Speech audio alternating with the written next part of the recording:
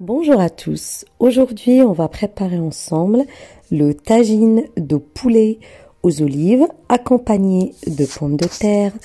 Mais avant tout, si vous n'êtes toujours pas abonné à la chaîne, je vous invite à le faire et activer la petite clochette de notification pour recevoir toujours plus de nouveautés.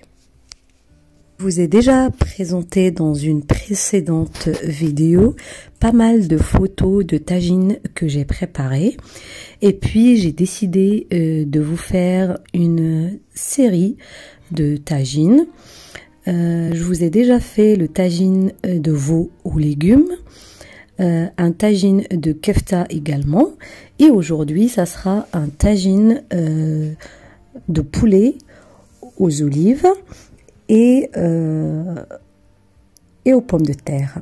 Donc là, j'ai découpé un oignon entier en petits dés. J'ai ajouté une petite cuillère de sel et une petite cuillère également de poivre. Et j'ajoute une grande cuillère de gingembre et également une grande cuillère de curcuma.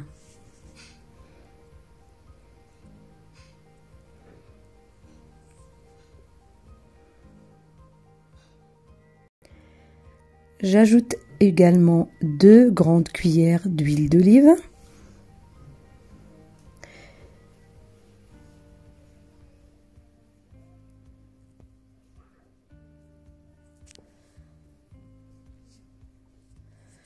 Je mélange le tout.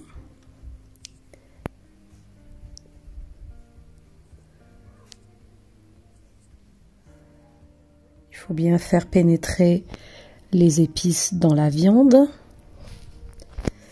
Et puis, je vais ajouter également deux gousses d'ail. Voilà.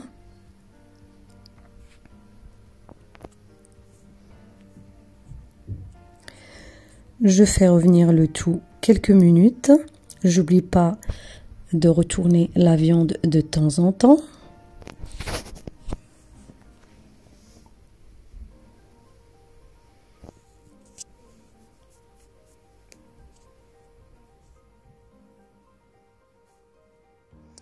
J'ajoute également deux grandes cuillères de coriandre et de persil mélangés.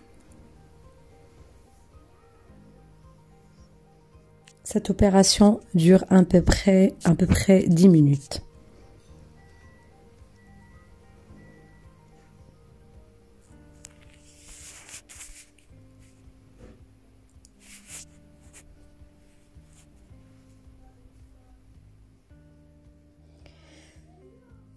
Je vais laisser euh, mijoter quelques minutes et puis euh, je vais pour préparer euh, mes pommes de terre.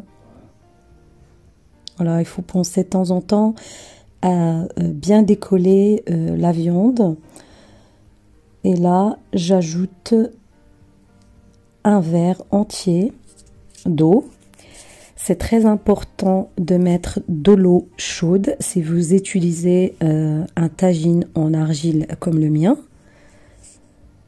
pour éviter le choc euh, thermique chaud-froid car ça risque de vous casser votre tagine. Vous pouvez également faire la recette dans une marmite si vous ne possédez pas euh, le tagine en argile. Donc là, je découpe la pomme de terre en quatre. Et puis, je vais venir placer euh, les pommes de terre tout autour de tagine.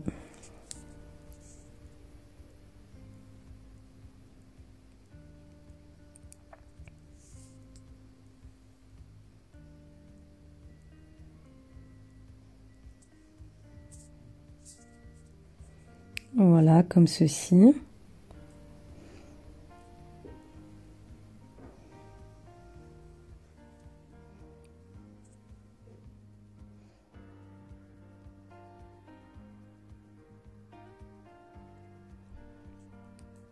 Et puis, je vais euh, par la suite arroser les pommes de terre avec euh, de la sauce.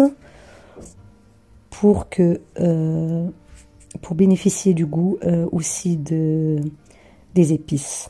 Voilà, comme ceci.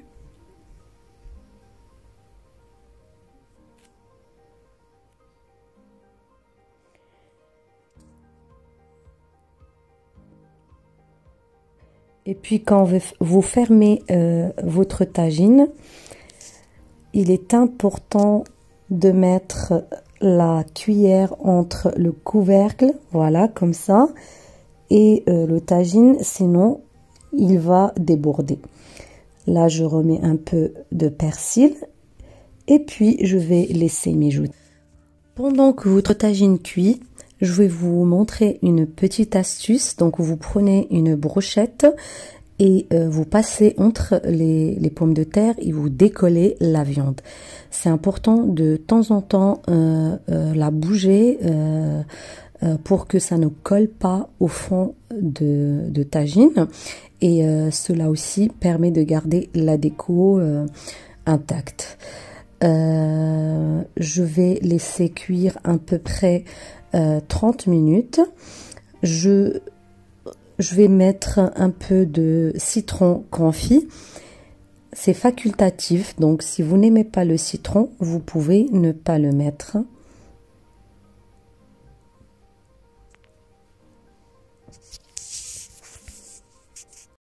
J'ajoute également euh, des olives. Mettez les olives de votre choix.